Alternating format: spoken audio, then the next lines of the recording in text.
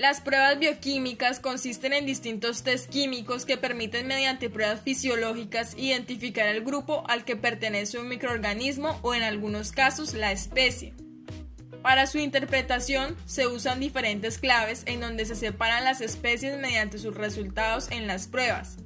Una de las más usadas es el manual Vergeis de bacteriología sistemática.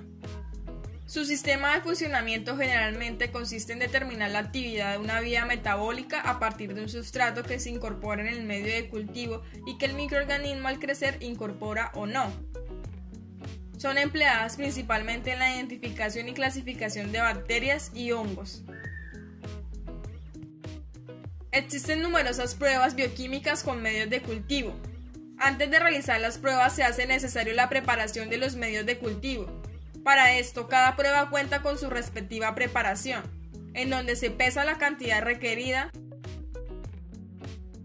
se disuelve sus componentes en agua destilada y si es necesario se lleva a la plancha hasta hervir.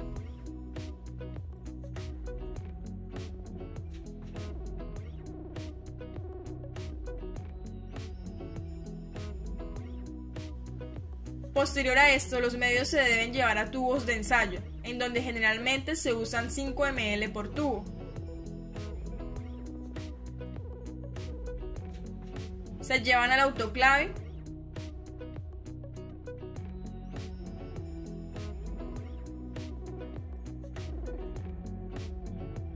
Luego de la esterilización se inclinan los medios sólidos y se inocula cada tubo con el microorganismo a analizar en este caso Escherichia coli.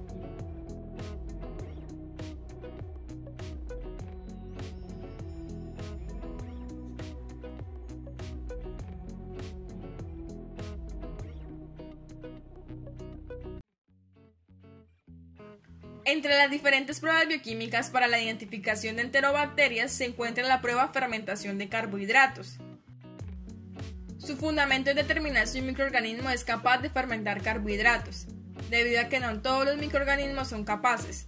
Esta prueba se aplica a todas las bacterias u hongos anaerobios facultativos. Los productos finales de la fermentación que se obtienen en esta prueba son la formación de un alcohol o ácido y un gas. Para realizar esta prueba se usa el caldo rojo fenol como indicador de pH y los carbohidratos sacarosa, lactosa, glucosa y manitol como fuente de energía. Los resultados son positivos cuando el medio se ve amarillo, es decir, la bacteria está produciendo ácido a partir de los carbohidratos. Los resultados son negativos si el medio se ve rojo, es decir, la bacteria no utiliza carbohidratos o un carbohidrato en específico para obtener energía, ya que el producto de su fermentación son sustancias alcalinas y no ácidas. A su vez, el pH quedó igual o aumentó.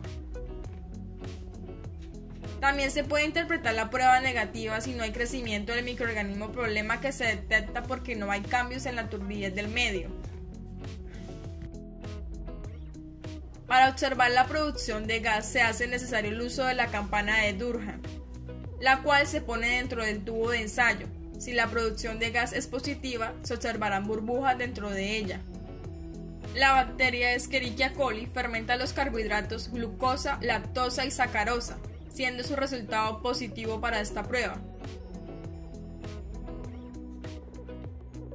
Por el contrario, el manitol es un medio selectivo para la mayoría de las bacterias gram negativas. Por eso, en este caso, Escherichia coli es negativo para esta prueba.